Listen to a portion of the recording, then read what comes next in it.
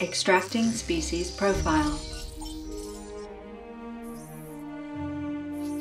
Chasmosaurus, a genus of ceratopsid dinosaur from the Upper Cretaceous period of North America. Its name means opening lizard, referring to the large openings in its frill.